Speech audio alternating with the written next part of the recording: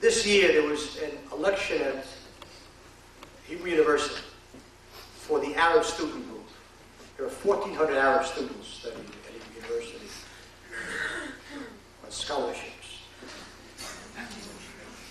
A coalition of Arab groups headed by the sons of the village, the Nekfar, which calls for a Palestinian state to replace Israel.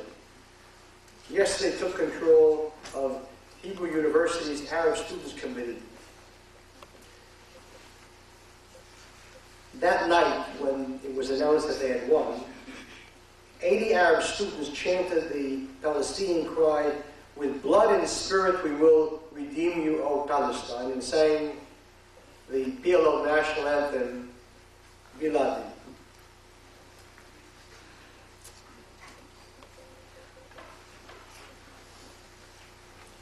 Who allows such students to be on the campus? I remember when I was in Knesset, there was a debate on some bill on education. And for some reason, Shimon Peres, who at that time was uh, prime minister, chose to, to answer for the, for the government. And he went in, into a whole speech about uh, education, and suddenly he began to speak about Arabs.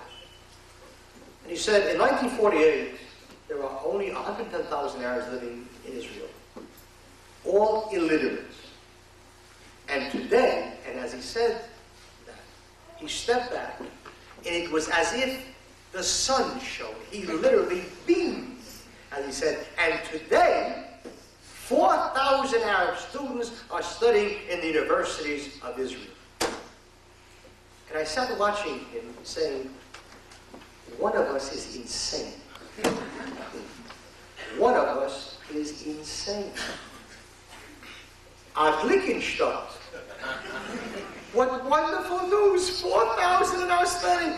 Do you know who the most dangerous Arabs in Israel are? Of course, it's the students on the campus. The revolution comes from them, not from the numb and the dumb.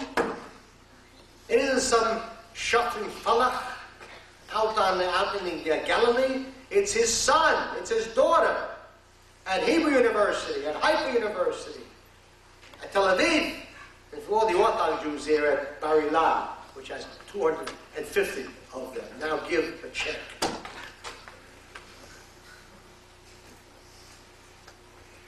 We not more. You allow Arabs who openly appropriate PLO, openly call for the end of Israel. You allow them to study with Jewish funds? We can't find 4,000 Sephardic Jews who haven't got money who would love to study there?